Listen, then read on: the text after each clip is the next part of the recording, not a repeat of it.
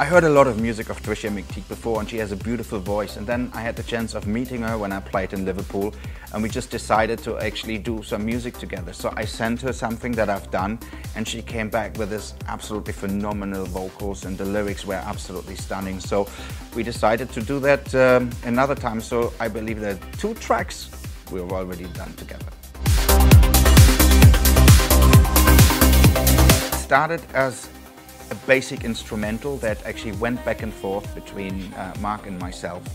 And uh, when we had the layout, we sent it to Tricia. She actually provided the vocal. And then after the vocal was kind of placed on top of the track, uh, I started to produce everything and basically make it uh, basically one piece of music. And then uh, we sent it back to Mark. He added a few things, uh, and then the track was finished. Nice. I was struggling a lot with lights, with the production. I had this really lush feel to it and the musical layout, but I couldn't really get to the point. And then uh, I spoke to Sue. I said, I have this beautiful piece of music, but I don't really know where to go with it, and explained to her what the feel is to me.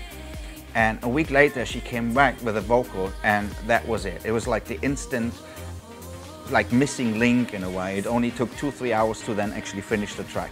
Um, it's definitely one of the favorites of mine um, that I've done with her and uh, yeah, I'm looking forward to it to be released.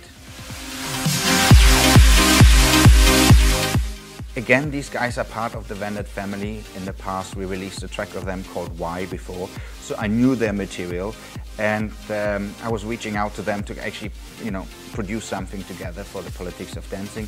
And in a way, this the song represents a little bit of oh, what, what this whole DJ life is. Because a lot of people's thing is just like, you know, flying around with private jets and having parties all the time.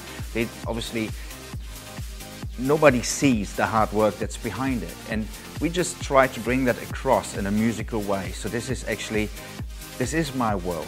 Yes, it's fun. I love what I do. It's like, and I'm really, really thankful that all you guys support me so much that I can do what I love so much. But at the same time, as well, is a hell lot of work, which doesn't feel like work. That too, but it can be really exhausting. Anyway, I love this track and uh, I'm, I'm happy that it's on the album the way it is.